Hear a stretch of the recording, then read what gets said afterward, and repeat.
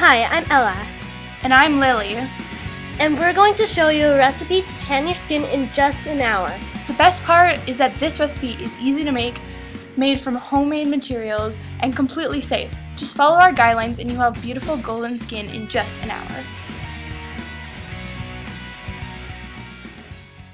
This is my leg with no tan.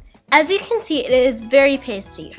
To start off, wash the area you are going to tan with soap and warm water. Make sure the skin is very dry. Do not apply cream.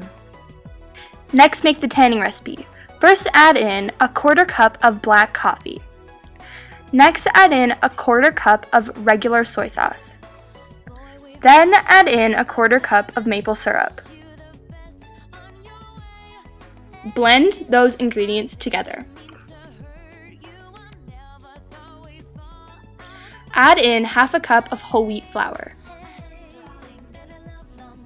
Blend together with a whisk or a fork.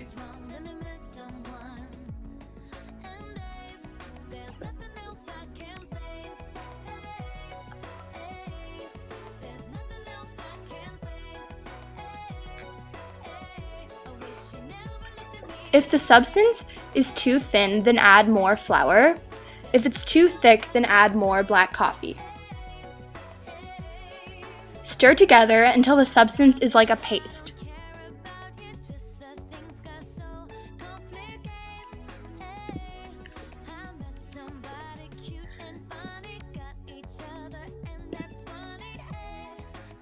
Then add in just a pinch of baking powder. Don't mind the color of the paste, but it should look like this.